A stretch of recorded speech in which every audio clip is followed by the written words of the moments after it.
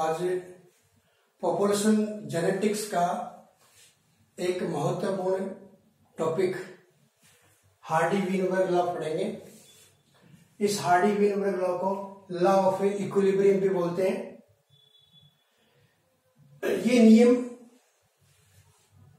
Evolution की दृष्टि से बहुत ही महत्वपूर्ण है। ये नियम क्या कहता है?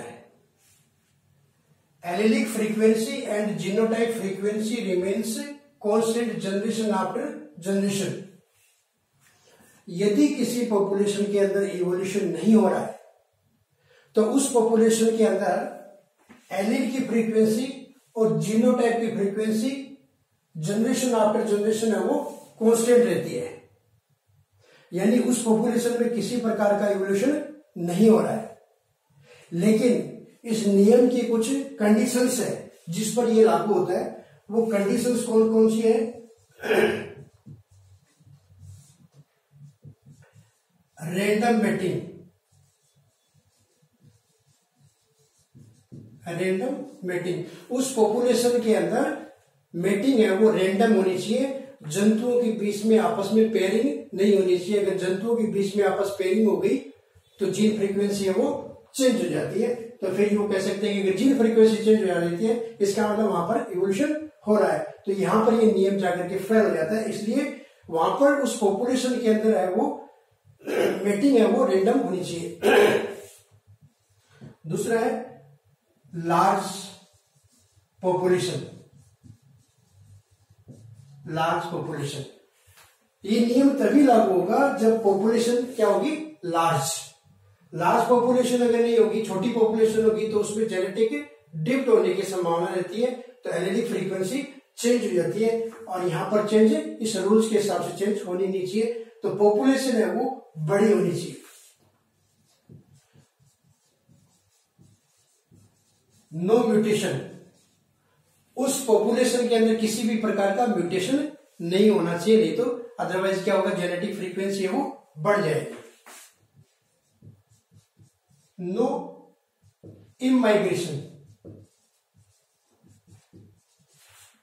एंड इमाइग्रेशन उस पॉपुलेशन के अंदर ना इमाइग्रेशन होना चाहिए, ना इमाइग्रेशन होना चाहिए। यानी वहाँ पे कोई भी जंतु बाहर से अंदर नहीं आना चाहिए और अंदर से जंतु बाहर नहीं आना चाहिए। अदरवाइज़ फ्रीक्वेंसी है वो चेंज हो जाती है।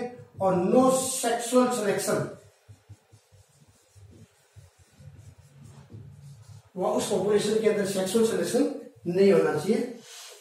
तो ये पाँच कंडीशंस अगर रहती है पॉपुलेशन अगर लार्ज है रेंडम मेटिंग है म्यूटेशन नहीं हो रहा है, किसी भी प्रकार का इमाइग्रेशन इमाइग्रेशन नहीं हो रहा है, और कोई भी सेक्सुअल सिलेक्शन नहीं हो रहा है तो उस पॉपुलेशन के अंदर एलिल की फ्रीक्वेंसी और जीनोटाइप की फ्रीक्वेंसी जनरेशन आफ्टर जनरेशन है वो कॉन्स्टेंट रहती है। अपन यू कह सकते हैं कि किसी प्रकार का इवोल्यूशन नहीं होगा, ये कंडीशन होगी तो।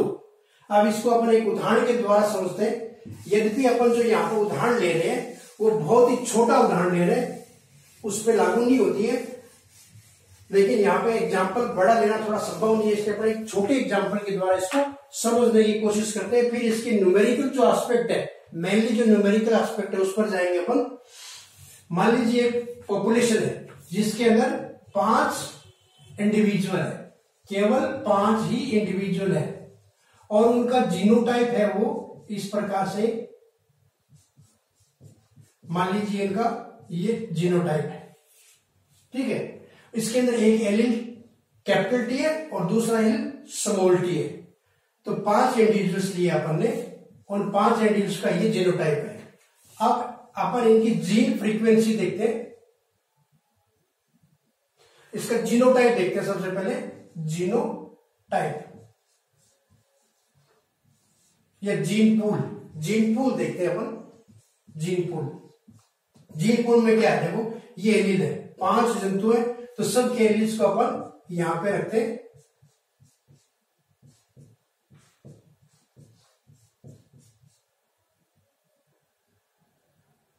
ये टैग हो गए। ठीक है? ये सारे के सारे जीन पूल इनका यहाँ पर अपन रखा है sum total of gene taken together अपन सारा का सारा, इनका जीन पूल यहाँ रखा है।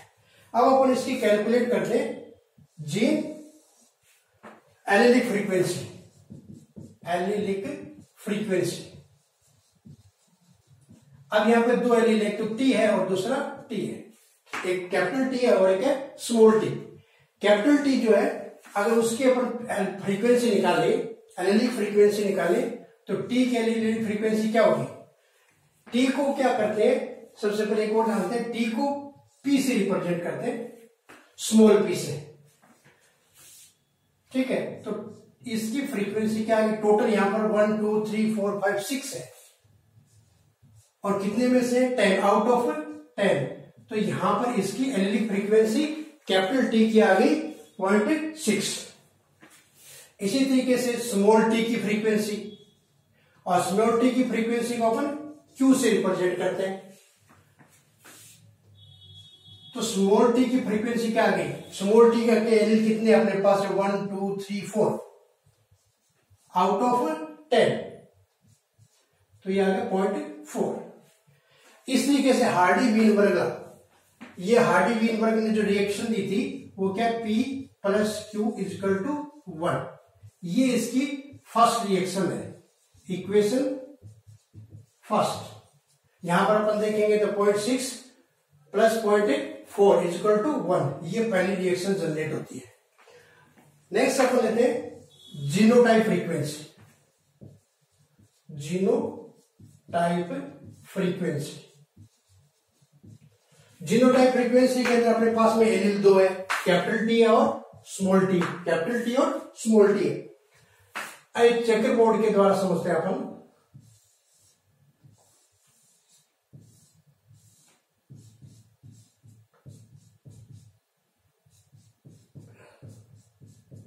ये इस तरीके से अपन चेकर बोर्ड बना लिया और ये जीनोटाइप है वो एफ़ जनरेशन का आता है।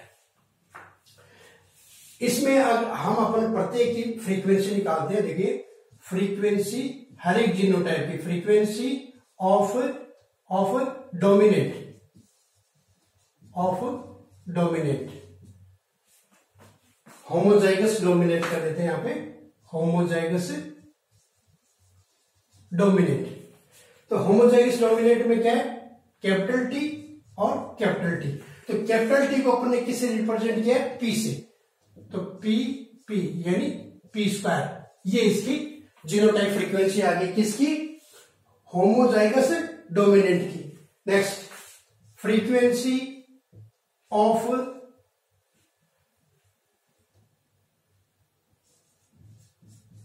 हेट्रोजाइगस अब हेट्रोजाइगस में अपने पास में क्या है?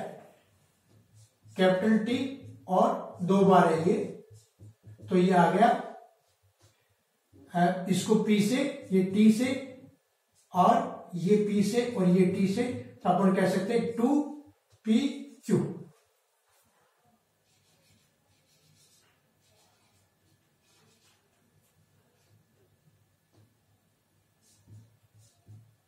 P Q P Q two P Q इसी तरीके से फ्रीक्वेंसी अपन इसके निकालते हैं। फ्रीक्वेंसी ऑफ़ होमोजाइगस होमोजाइगस क्या recessive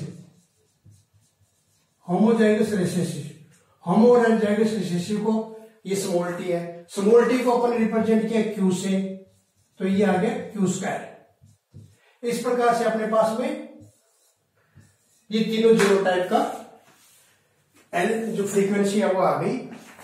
तो अपनी रिएक्शन क्या होगी? P square plus two P Q plus Q square equal to one ये इक्वेशन इक्वेशन सेकेंड इस तरीके से ये इक्वेशन सेकेंड जनरेट हुई। यदि अपन इसको P square plus Q square equal to one करते तो भी ये इक्वेशन आ जाती, लेकिन इसका डेरिवेशन इस प्रकार से, नेवा इस प्रकार से इसका डेरिवेशन होता है। तो हम किसी की भी फ्रीक्वेंसी निकालनी होती है, किसी भी की तो अपन इसमें, इसी नियम के अनुसार है वो निकाल सकते हैं। जैसे is the frequency of individual of homozygous dominant what is the frequency of individual of homozygous individual इसकी आ गई ये होमोजाइगस इंडिविजुअल है तो इसका क्या हो जाएगा? P square what is the frequency of homozygous recessive what is the frequency of individual of homozygous recessive तो स्मॉल टी स्मॉल टी तो इसको, इसकी फ्रीक्वेंसी आ गई। स्क्वायर से मान लीजिए अपने को निकालना है what is the frequence what is the frequency of individual which contain at least one recessive allele अब वन रेसेसिव एलिड इसके पास में भी है, इसके पास में भी है इसके पास में भी है। तो ये क्या हो गया? क्यू स्क्वायर और ये क्या हो गया? टू पी की। Q square plus two P Q what is the frequency of dominant कि अपन ने ये निकाल दी होमोजाइगस डोमिनेंट की। What is the frequency of dominant तो डोमिनेंट तो ये भी है, ये भी और ये भी तीनों डोमिनेंट है। तो तीनों डोमिनेंट है तो इसका क्या आ जाएगा? पी स्क्वायर प्लस इसका क्या आ जाएगा? टू पी क्यू ये फ्रीक्वेंसी निकालेंगे तो पी स्क्वायर ये खाली डोमिनेंट का है। होमोजाइगस डोमिनेंट का है। और ये किसका है? ये तीनों निकालेंगे तो किसका है? P square plus two P के डोमिनेंट का। तो इस तरीके से अपन फ्रीक्वेंसी निकाल सकते हैं। तो अपन कुछ न्यूमेरिकल्स वो करके देखते हैं। जो मैंने यहाँ पर लिख रखे तीन न्यूमेरिकल है। इन न्यूमेरिकल्स को करते हैं।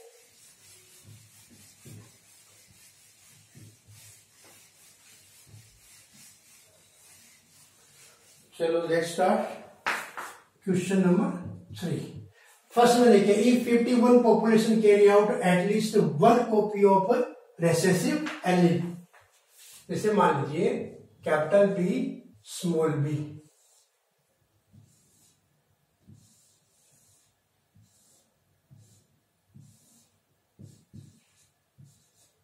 capital B capital B capital B, small B, capital B, small B और small B small B.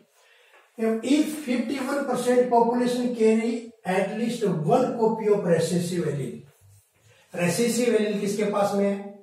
इसके पास में भी है, इसके पास में भी है, इसके पास में भी है। ये अपने को दिया हुआ कितना? 51 परसेंट तो इसको अपन किससे रिप्रेजेंट करेंगे? क्यू स्क्वायर इसको किससे करेंगे? प्लस टू पी क्यू ये अपने को दिया हुआ है, कितना? 51 परसेंट यानी पॉइंट फाइव वन ये अपने को दिया हुआ है, ठीक है? अब इससे अपन क्या निकाल सकते हैं? क्यू की फ्रीक्वेंसी पी की फ्रीक्वेंसी तो पी क्या होता है? P plus two P Q plus Q square equal to one ये अपनी रिएक्शन है। तो इससे अपन पी स्क्वायर निकाल सकते हैं। P square equal to one minus this और दिस की वैल्यू क्या है? Point five one point five one तो ये आ गया पॉइंट फोर नाइन तो पी आ गया पॉइंट सेवन जब अपने पास में पी आ गया तो अपनी रिएक्शन क्या कहती है? P plus Q equal to one तो पी की वैल्यू क्या आ गई? वन अब अपने को क्यू की निकालनी है। तो Q equal to one minus point seven तो ये पॉइंट थ्री तो अपने पास में पी की भी फ्रीक्वेंसी आ गई और क्यू की भी आ गई। पूछ क्या रहा है क्वेश्चन में find the frequency of dominant allele find the frequency of dominant allele ये डोमिनेंट है। ये भी डोमिनेंट है और ये भी डोमिनेंट है। डोमिनेंट होमोजाइगस तो पूछा नहीं है? इसने तो पूछा है find the frequency of dominant allele तो आपने को निकालना क्या है? ये ये ये निकालना है। तो ये क्या है? P square plus two P Q ये निकालना पी स्क्वायर कितना है? Point four nine two into P की वैल्यू कितनी है? पॉइंट सेवन और क्यू की है थ्री तो पॉइंट फोर नाइन प्लस ये आ गया नौ दस ग्यारह। नो ये आ गई इसकी find the frequency dominant energy की फ्रीक्वेंसी क्या आ गई पॉइंट नाइन और अगर परसेंटेज में पूछते हैं तो नाइन्टी वन परसेंट ये अपना क्वेश्चन सोल्व होता है इस तरीके से।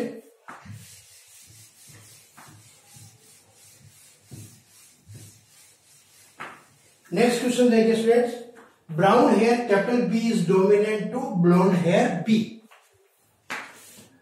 brown hair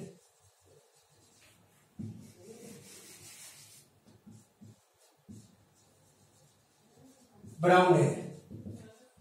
और दूसरा देख रखा है ब्लॉन्ड हेयर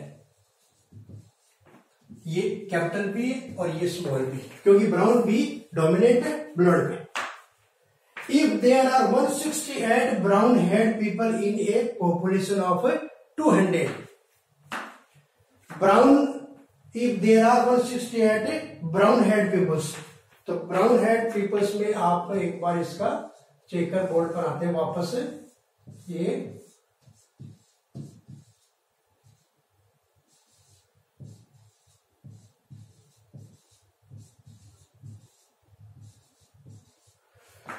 ब्राउन हेड ये भी ब्राउन है, ये भी ब्राउन है और ये भी ब्राउन है। कितना दे रखा है? 168 brown head people in a population of 200 तो ये ये ये दे रखा है। तो ये क्या P square plus two P Q P square plus two P Q ये अपने को दे रखा है कितना? 168 आउट ऑफ़ 200 तो ये कितना आ जाएगा? आठ, चार और 100 और पॉइंट एट फोर क्या आ गया? P square plus two P Q Q square निकालते हैं अपन।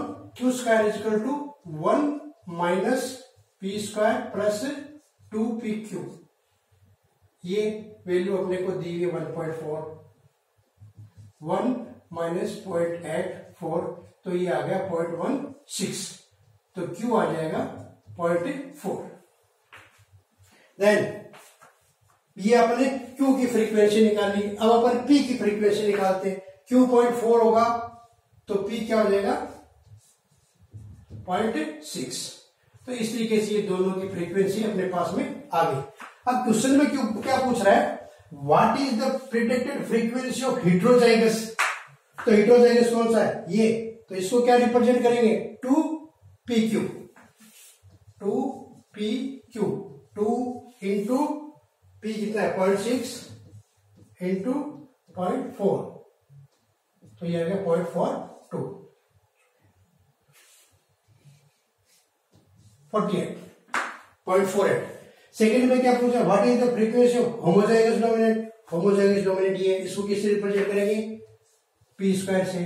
तो पी कितना है? Point six point six into point six equal to point three six is the predicted frequency of homozygous recessive homozygous recessive ये रहा।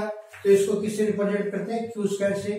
तो क्यू कितना है अपने पास में? Point four into point four equal to point one six तो ये तीनों की इस प्रकार से फ्रीक्वेंसी अपन निकाल सकते हैं। तो ये इनके तीनों के आंसर है। एक क्वेश्चन और करते हैं।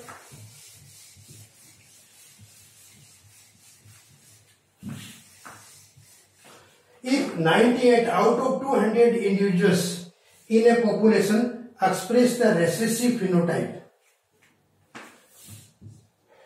एक बार चेकर बोर्ड अपन फिर बनाते हैं। कोई भी एलिन लेकर के, कोई भी एलिन लेकर के चेकर बोर्ड बनाते हैं।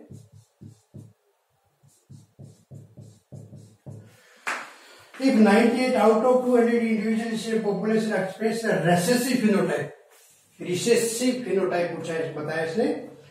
तो रिसेसिव फिनोटाइप कौन सा है? ये क्यू स्क्वायर तो क्यू स्क्वायर कितना दिया हुआ है? 98 अपॉन 200 तो ये आ गया 49 अपॉन 100 यानी 49 तो क्यू स्क्वायर इक्वल टू आ गया पॉइंट फोर नाइन क्यू आ गया पॉइंट सेवन. अब क्यू अगर अपने पास में पॉइंट सेवन आ गया तो पी कितना हो जाएगा पॉइंट थ्री पूछा क्या what percentage of the population would be heterozygous इनमें से हिट्रोजाइगस कितने परसेंट में होंगे? तो ये और ये दोनों हिट्रोजाइगस तो इसको अपन किसे रिप्रेजेंट करते हैं? Two P Q two into P कितना है? पॉइंट थ्री और क्यू कितना है? पॉइंट सेवन कितना बयालीस ये पॉइंट बयालीस तो ये what percentage of population would be heterozygous तो ये इतने हेट्रोजाइगस होंगे। परसेंटेज में पूछे तो बयालीस फोर्टी टू परसेंट क्या होंगे? हेट्रोजाइगस होते हैं।